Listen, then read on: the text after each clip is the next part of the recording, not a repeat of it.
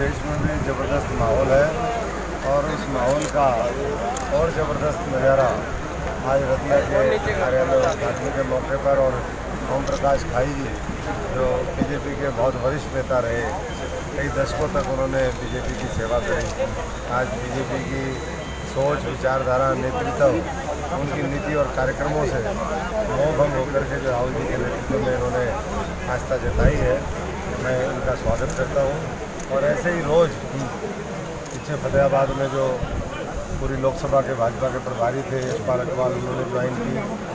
हम जिस भी गाँव में जाते हैं, लोग बीजेपी जेजपा एनएलओ बसपा, ये छोड़ छोड़ करके कांग्रेस में शामिल हो रहे हैं।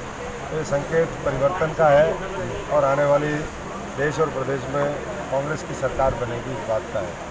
और बाकी जा कर के हमने मंडियों के दौरे करे जगह जगह हम देख रहे हैं। मंडियों में किसान पिछले चौदह तारीख से आज करीबन दस दिन हो गए हैं।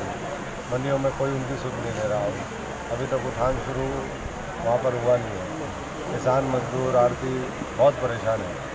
और पूरे संसदीय क्षेत्र में देखें तो टोहाना में भी, सिरसा में भी अलग अलग मंडियों में कई जगह लोगों ने जाम भी लगाए हैं। केवल इसी बात को लेकर के कि आड़तियों को, किसान को, मजदूर को परेशान करने का काम भारतीय जनता पार्टी ने किया है।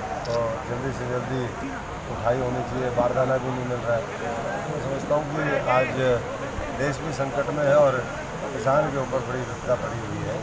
उससे उसको बचाने का काम कांग्रेस पार्टी मंडियों स्थिति है? मंडियों की आपने अगर जायजा किया मैं तो सारी मंडियों में मैंने दो दिन के संवाद